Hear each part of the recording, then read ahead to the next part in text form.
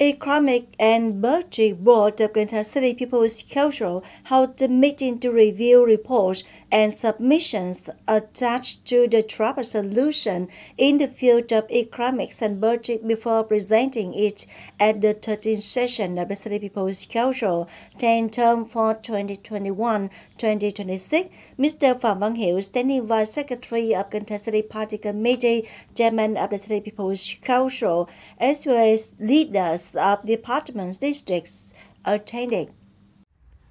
Some of the comments on the report of the City People's Committee summarizing the two years of implementing Resolution Number 45/2022 of the National Assembly on piloting several specific mechanisms and policies for the development of Thơ City, results of implementing the resolution of the City People's Council on Economy, Society, Defense and Security in 2023, and goals and tasks in 2024, midterm assessment of investment plan for 2021 to 2025, basic construction work in 2023, and solution tasks in 2024, results of resolving voters' opinions and recommendations before and after the 11th session. Based on the comments, relevant departments, branches, and units have explained and analyzed to clarify the objectives, meaning, and nature of each content. The City People's Council Economic and Budget Board asked the drafting officials to accept comments from attendees at the meeting and continue to complete reports,